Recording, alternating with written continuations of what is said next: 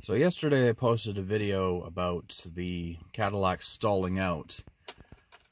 I'm thinking something is related to fuel pressure. And I think the fuel pressure regulator has a lot to do with it because from reading up online, they say that the fuel pressure regulator goes out slowly and sometimes acts sporadically.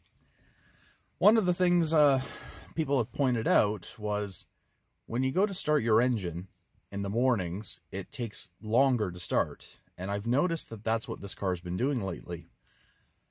Um, even after driving it for, oh, I don't know, the entire day, and then I park it, and then I decide to go out in the evening, same problem again. It's a hard start. It doesn't start right away.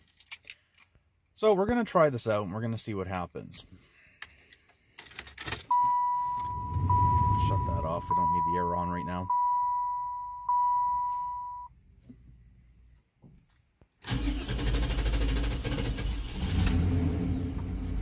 See, like that, that's a hard start. I remember about um, three years ago, all I had to do was just turn the key and that was it. But this, I have to hold it for quite some time for it to start. Um, sometimes when I do start it, it kind of stumbles and just like doesn't really want to run properly. And then eventually it clears itself out and then it runs like it is right now.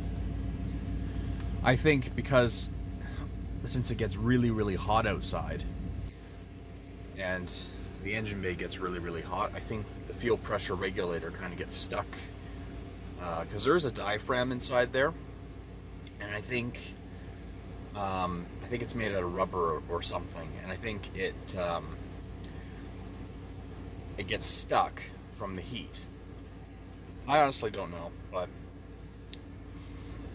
I'm going to uh, bring the car into somebody to have them look at it.